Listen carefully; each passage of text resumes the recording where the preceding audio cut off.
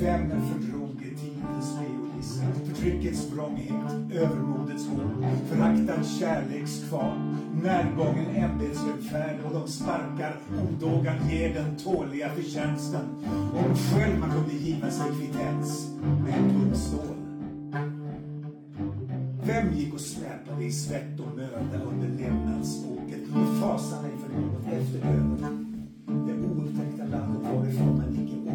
Skrämde viljan att hellre bära våra vanda plågor och fly till andra, den vi icke känna. Så vårt samvet till pultroner alla.